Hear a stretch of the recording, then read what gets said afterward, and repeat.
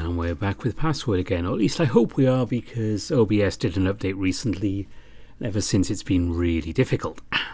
So, this is actually take two on this entire video since I recorded everything yesterday, or I tried to record, I did everything and it didn't record. So, here's hoping. Anyway, this is going to be a slightly different uh, video today. Uh, a lot of the uh, day 7 here is the same, we just have different scenes for different routes. So we've run through Dean's as a whole, well, apart from the bad endings, of course. And what I'm going to do is just play the uh, more specific Roswell bits today and uh, see how that goes.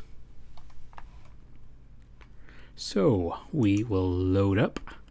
And we're going to start the right of the day 7, which is slightly different to uh, where things were with Dean. Good morning! The sudden voice called me to jump, expecting to have a moment alone before breakfast. Did I startle you? I rubbed my eyes, struggling once more to find a place to stare at while I spoke to this embodied voice. I wasn't expecting you to say hello so soon. What happened to talking tonight? Ah, yes, I wanted to relay one last thing when I had the chance. I was going to bed, but you seemed uh, preoccupied. I buried my face in my hands, hiding my apparent embarrassment from someone who apparently couldn't even see me to begin with.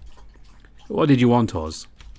I have informed Benson we have spoken. You should find him an ally of sorts, but he still has things he needs to do for me. Also, he trailed off, leaving me with silence for a moment. Just as I was about to check if he was still there, he spoke once more. Remember, be cautious. There's every chance that one of your friends is the one behind it all, riding the coattails of this vacation towards something malicious. I thought you said I shouldn't doubt my friends. And I believe that to be the correct mentality. Merely be careful. Fine, fine, careful. As for tonight, meet me in the library at 11 p.m. Wait, we're going to be talking in person? I believe this is the best way to do it. You seem to dislike chatting over the radio. Benson also believed that if there's to be some level of mutual trust, I would need to talk to you in the flesh. I'm aware I said I don't wish to give myself away, but my want of seeing no one die outweighs staying hidden, at least for just one person, that being you. Additionally, there are certain things best left for in person. Remember, library 11 p.m. But there was nothing but silence to follow. It seemed that for the time being Oz was done talking. With the conversation over for now, I got myself ready and headed downstairs for breakfast. And breakfast and the uh, the day continues as before. Uh, there's going to be a slight difference in the greenhouse scene, but we'll do that on Ty's route. So we can just, by the magic of editing, jump. Well, apart from this section, of course. Oh, Roswell. He called himself small and weak. Thinking back, it checked out. He's always the one to follow someone that was stronger or take comfort in the security group of people brings. He smiled at me sweetly from the other side of the table, my cheeks going red under my fur, thinking back to last night. I looked down at my coffee, smiling to myself. I don't think I was all that much stronger than he was. I felt stronger with him around.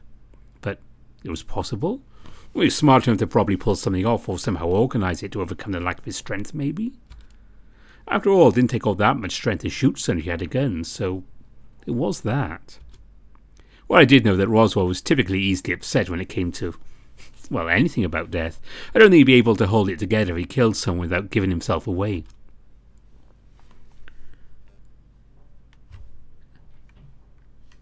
And we've talked about these guys before. After the pumpkin carving, those that weren't helping Orlando finish portioning up to the pumpkin were to go to, went to go to get clean, myself included. Making sure I had my scrubbing brush, I got to work, trying to get the orange out of my fur. I must have scrubbed myself all over twice, for enough the smell was gone, the stains were no longer noticeable. Oh boy, that feels a bit better. As I stepped out of the shower, still clad in only a towel around my waist, I almost ran to Roswell, pacing about my room. Roswell? Without a word, Roswell came in and hugged me around my middle and sighing out contentedly. This is nice. Um, yeah, but did you have to hug me now? Oh, I'm sorry, I was just feeling a little lonely. I felt my cheeks go red looking down at Roswell. Was this where we'd normally kiss? I wasn't sure if I should just go for it, but Roswell pulled away before I had the chance to act. I don't think I'm quite at the stage where I want to see you naked, Dave. I like the closeness to hugging you like this brings. As in, without my shirt. Well, is that bad? Isn't that what boyfriends are meant to do? Oh, well. Oh, don't get me wrong. I know we're not, at least not yet. Unless. I laughed, nervous, making sure I kept one hand on the towel for modesty. Oh, um, I. I don't know. I'm only messing with you, Dave. We're a long ways off anything like that. All I know is I like being near you, that's all. I smiled at Roswell, watching as he wandered toward the door to my room. Well, that's fine, but maybe wait until I'm dressed next time? Oh, I'm sorry, I just thought. I mean, at least let me be in underwear next time. All right, well, I'll let you get dressed to meet you downstairs. Roswell gave one last wave before leaving my room, closing the door behind him. Once I was adequately, adequately dressed in fresh clothes, I wandered back downstairs lazily. Maybe I'd just grown tired after an eventful day so far. I'm back. And we return to this slightly awkward scene.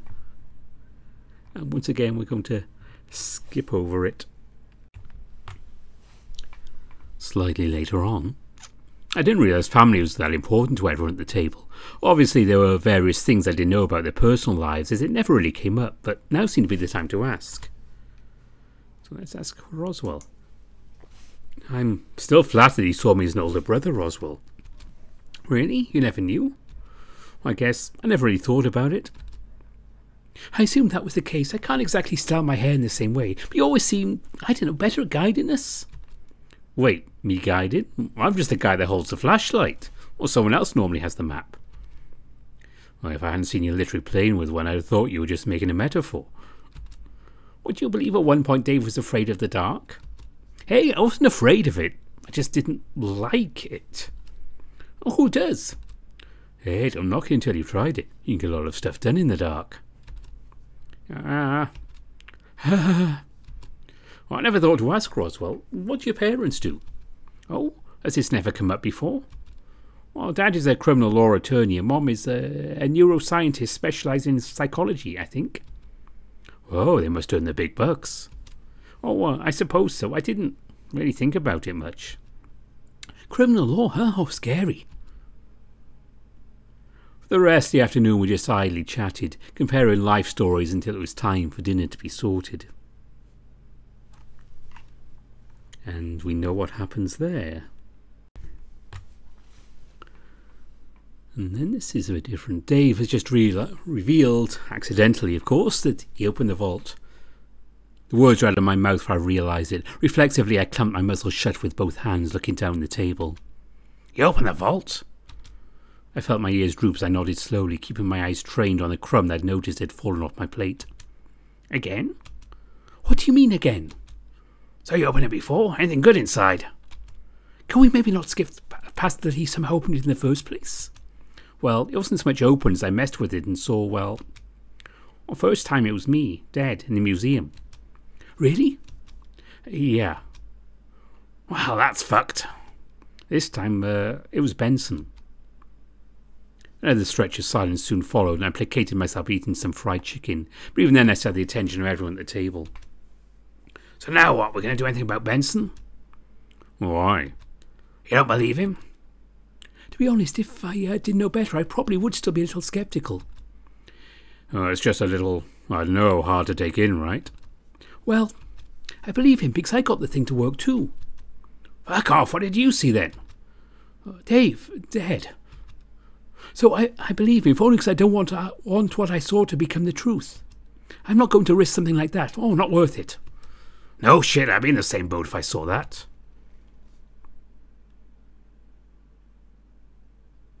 Well, if something had happened, why didn't you tell anyone sooner, like right after you saw it? Hey, it, it was hard to process. Things come back on track from before. And so we uh, pick things up here again. So, of course, we've had uh, dinner. Dave's been to the vault, put the password in, seen Benson's death, and everything is followed on as before in Dean's route.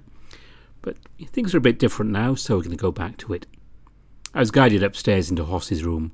With Roswell's being a mess and supposedly the same thing with Orlando's, it was the only one suitable for all four of us. When we got there, Roswell left to go grab a deck of cards from his room and returned just as we were spreading out blankets and pillows. Ah, oh, this is nice, just like when we stayed up all night that one weekend, right? I don't know about you guys, but I don't think I'll be staying up all night tonight. Oh, me neither. I had enough excitement for one day, I think. But we can still play cards for a bit, right? As long as you don't cheat. Oh, I never cheat. I'm just very lucky. Roswell shuffled the deck and dealt us each five cards. A poker? Oh, no, no, I was just thinking we could play a casual game of go fish until we're tired enough to turn in. That sounds fun. That's why we just ask who has the cards, right? That's right, sets of four. Speaking of, Dave, got any sevens? Almost immediately I looked over my cards and handed two of them over, drawing two more from the deck. You know, I've been wondering about what you saw in the vault. I wonder what it all means. If it's true, then why Benson, right? Oh, and Dave, I'll take those threes you have. Oh, um, okay. I handed Orlando three cards and drew three more. Honestly, it's um something that's bothering me a bit. You guys must think I'm crazy. Well, I don't think that. It's still hard to believe, sure, but why do you lie about that? Normally I can tell when you're lying too. So far you've been in the clear, if a little odd about it. Could have just convinced yourself that it's true, but still. Also, it's your turn. Oh, uh, can I have Kings? Orlando? Asking me to find you a king, Dave? Sadly, can't help you this time. Go fish. No wonder. Is it showing the future? The past? I'm sorry I didn't bring it up with everyone right away. Well, you can start by making out to me by handing over those kings you apparently have, Dave. Oh, okay. You didn't really have a chance to, Dave. Let's say that instead you saw Sal dead. You'd be worried, right? But, uh... Oh, Hoss, maybe back off a little. I looked between them, confused. Ah, I think I know where Orlando's going with this, but still, you'd seen Sal die or even one of us, no one did. That's what's got me troubled about accepting this as fact. How does it work? Why does it work that way? But there's something else. What's that? Well, the door, it's not actually open, is it? When you, well, whatever happened to you, Dave, the door itself never opened, right? I don't think so. Well, damn, I was hoping we'd have some insight into what was behind it. Money, the meaning of life, something, you know? Uh, for what it's worth, I wouldn't mind if it's money. Seems like it's a lot to offer a bunch of strangers, though. We're, what, two medals down so far? Finding the rest seems doable unless it's in complete set and we're on a wild goose chase. I'm sort of hoping it's something more symbolic. Like what? Like a thing to bring people back to life? Well, that'd be nice at least. The dead stay dead, Dave. It's better that way. Or even the vault, if how you described it is accurate, only circumvents death, not brings people back. Oh, mm, you're right. I'd made myself sad thinking about it, but I shrugged it off, looking to Hoss. So, uh, Hoss, it's your turn, right? Oh, wait a second, Dave, listen to me. I turned slowly from Hoss to Orlando, unsure what he's getting at. Just remember, what's happened, happened. You can't undo it. I know that, but. Dave, you can't bring back the dead. I'm sorry. I nodded slowly, looking at the spot on the floor in front of me. I knew that. I'd thought about it long and hard. Me even consulted on this with Roswell for a full day before I realised what I was really asking about and why. The rest of the game was played in relative silence. About halfway through, I realised I'd been holding my cards wrong and the others could see what I had. But by that point, I didn't care all that much, instead focusing on what was to come later. That meeting with Oz was still on the table, and it seemed I wanted things answered, he'd be the one to talk to. Hey guys? What's up? Is it cool if I go say goodnight to the others? I mean, I guess, but why? Oh, well, mostly just wanted to make sure they weren't fighting, right? Because Tyson and all. Almost immediately, Orlando and Roswell looked to one another before turning to Hoss, who was staring at me. I was lying, of course. I wanted to go say good night, but I was leaving for another reason. It just came down to if Hoss would call me out on it. Well, all right. Just don't be gone too long. I sighed out, flashed him a quick smile before heading to the door. Don't worry, I'll be right back. I wasn't going to be right back. I had somewhere I wanted to be, somewhere else. The museum was dark, quiet, that special brand of quiet that made me jump at even the smallest of noises. 11 pm was minutes away. Oz was going to show, right? I could ask him any question I wanted, any question at all, and that might be enough to save all of my friends. I just had to make the end of the month, right? End of the month and then it's all over. All my friends survive. It's not the most ideal, but if that's the price, so be it. If I had to shoulder the burden of sadness for the sake of my friends, I was okay with it. Hopefully, after the month was up, I could maybe have a different vacation to make up for lost time, if there was a chance at something before everyone moved away. Which just made me sad thinking about it. Huddled up on the floor of the museum, looking around and letting my mind wander. Wonder how many of them will keep in touch. There's every likelihood that I'd be the only one left, even those that I'd assumed would be around forever looking at going away. I sat and waited. The room was still, quiet and cold. Where was Dean? Where was Orlando? I shivered as I checked my phone. 11.30. He's late. I headed to my room annoyed. I needed to check something. Oz! I didn't bother hiding my tone. This was it, the moment I'd find out if this was some cruel prank played on me by one of my friends or not. Oh, Oz, are you there? Silence, at least the first few moments, for sure enough I heard the radio switch on. I am here. You sound annoyed. Is everything okay? You're right, I'm annoyed. Where were you? I did what you said. There it was, though. Unless someone else had left their room and it was easy enough to confirm, Oz was indeed a ninth person within the house. I was in the library. No, you weren't, I. You were in the museum. Wait, what? I designated the library as the meeting location. You opted to go to the museum. It's the same room, isn't it? Regrettably, it is not. The library even has multiple entrances. Well, where is it? I can come right now, honest. There was silence for a few moments. I was about to storm off, assuming the answer was a no. I have an offer. I froze, looking back into the room with my hand on the door handle. One last shot. I have a theory I need to test. You saved Benson for me. I did not realize that he was a potential target either, and for that I'm grateful. Truly so. So again, tomorrow night, same time in the library. How do you know about that? Do you have multiple rooms booked? I have some surveillance. We were escapades through the house earlier looking if the gun were loud enough that I could hear. Do you watch the vault? I do. What of Orlando? What of Mr. Noble? About him using the vault, have you talked to him too? As far as I know, no such anomaly has happened. If he can, this is news to me. But at the same time, I cannot watch the cameras all day, every day. I watch when I can. I have other responsibilities, a job that is required of me. If you're still interested, ask me about it tomorrow. Wait, but where's the library? I waited for the response, but it never came. The room falling into silence.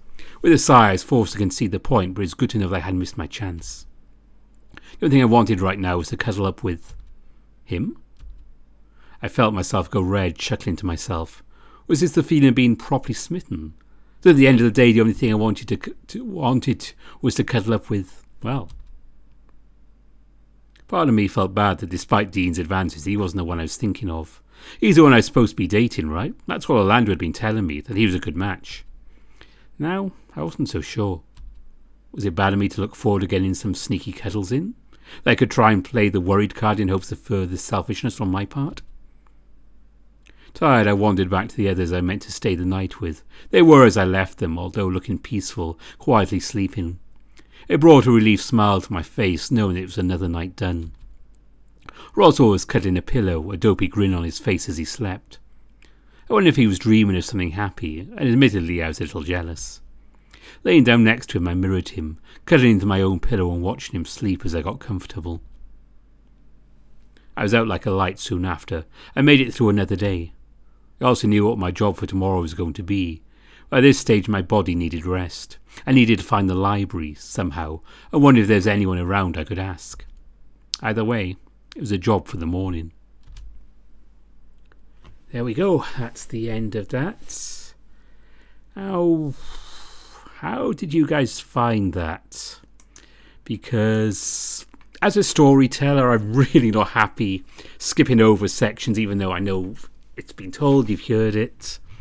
But I'm not sure everyone wants to sit through the same thing almost three times. So let me know in the comments. We have uh, Tyson's route still to do. And at the moment, I'm planning on doing his similar way there's some slight differences in the greenhouse, like I said. But uh, hmm, we'll see how that goes. But yeah, let me know. We might uh, do it that way, or we might do it uh, a different way. In which case, I'll just do the whole thing again. And uh, if you want to watch the whole thing, you can always check out Dirk the Red Panda's stream. He played uh, that whole section live with all the bad endings, about four hours. Check out his channel definitely, and uh, you'll see everything there, even if I do a highlights. So, thanks for watching. Until next time, bye for now.